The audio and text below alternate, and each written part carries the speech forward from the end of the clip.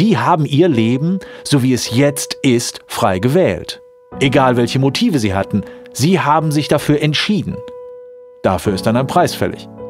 Aber Sie können all dies auch wieder abwählen. Dafür wäre dann ein anderer Preis zu zahlen, ein materieller oder immaterieller. So lässt sich unsere Wahlfreiheit zusammenfassen. Erstens, Sie können alles tun.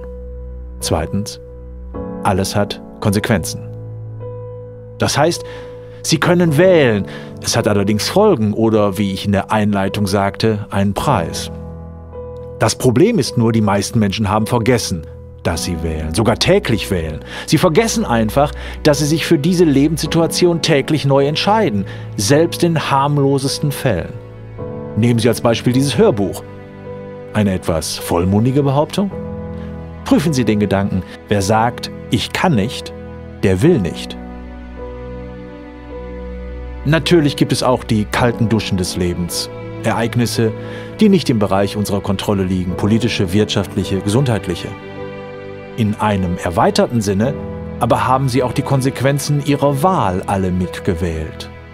So absurd es zunächst auch klingen mag, wenn ich in einem Erdbeben von der herabstürzenden Zimmerdecke erschlagen werde, so geht dem die Wahl voraus, in überdachten Räumen zu leben. Nur am Rande bemerkt, einige Naturvölker weigern sich deshalb, Häuser zu betreten. Oder die Klage über den erlittenen Verkehrsunfall. So tragisch und traurig das im Einzelfall sein mag, wenn jemand gewählt hat, am Straßenverkehr teilzunehmen, hat er grundsätzlich auch das Risiko mitgewählt, überfahren zu werden. Hierauf gilt es, sich einzustellen. Dass Unvorhersehbares eintritt, mag nicht Ihre Wahl sein. Wie Sie darauf reagieren, schon. Wir verfügen über ein ganzes Arsenal vortrefflicher Ausreden, die Wahlfreiheit zu bestreiten. Beispielsweise Sachzwänge, die unser Leben bestimmen. Oder die berühmten Umstände, denen wir uns, ob wir wollen oder nicht, nun mal beugen müssen. Und, und, und. Eine Fülle von Entschuldigungen, um die Wahlfreiheit in Abrede zu stellen. Schauen wir uns die Palette einmal näher an, die ich unter die beiden Überschriften gestellt habe, Mythos der Sachzwänge und Opferstories.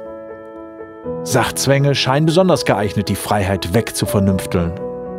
Denn wer sich dem Sachzwang beugt, lebt so, wie alle leben. Man will ja kein Außenseiter sein.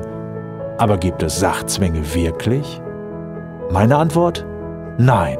Es gibt keine Sachzwänge, es gibt nur Menschenzwänge. Menschen zwingen sich. Vielen ist nur nicht bewusst, dass sie gewählt haben, dass dem eine Wahl vorausgegangen ist. Oder sie wollen es nicht wahrhaben. Praktischer also ist es, sich zu fragen, was kann ich jetzt tun? Was sind meine Handlungsmöglichkeiten? Darum geht es. Handeln statt jammern.